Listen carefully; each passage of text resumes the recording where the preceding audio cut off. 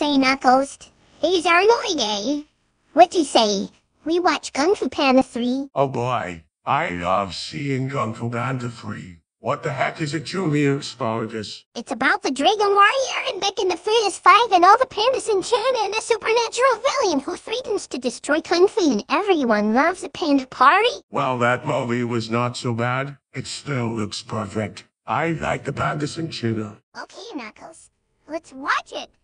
Panda 3 is already started. Start the movie, Knuckles. I just can't wait.